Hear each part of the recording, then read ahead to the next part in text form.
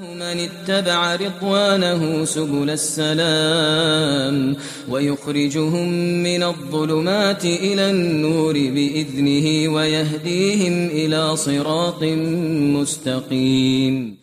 أعوذ بالله من الشيطان الرجيم.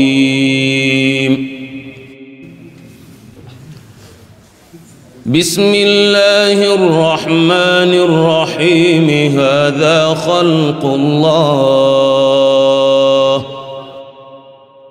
فأروني ماذا خلق الذين من دونه. بل الظالمون في ضلال مبين. ولقد آتينا لقمان الحكمة أن اشكر لله. ومن يشكر فإنما يشكر لنفسه. ومن كفر فإن الله غني حميد. وإذ قال لقمان لابنه وهو يعظه يا بني يا بني لا تشرك بالله إن الشرك لظلم عظيم ووصينا الإنسان بوالديه حملته أمه وهنا على وهن. وفصاله في عامين أن اشكر لي ولوالديك. إلي المصير. وإن جاهداك على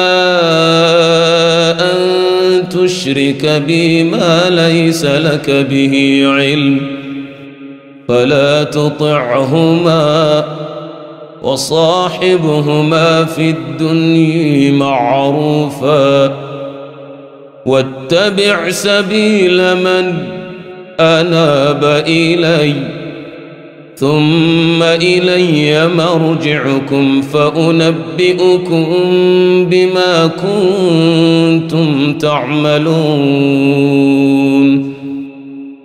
يا بني إنها إن تك مثقال حبة من خردل فتكون في صخرة أو في السماوات أو في الأرض يأت بها الله. إن الله لطيف خبير. يا بني أقم الصلاة وأمر بالمعروف. وانه عن المنكر واصبر على ما أصابك.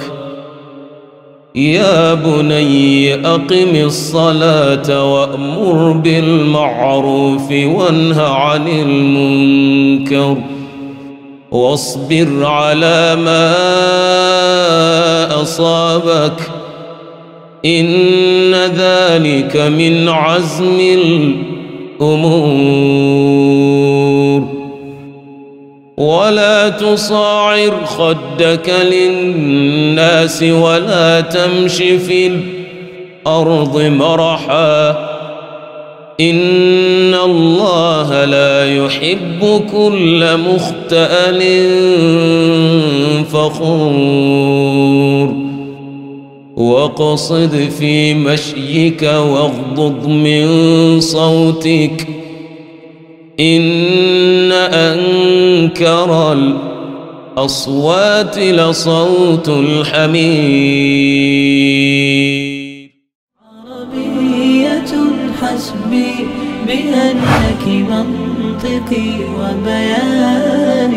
عربية قلبي وروحي أحرفي ولساني عربية ثم الوصوف تضيع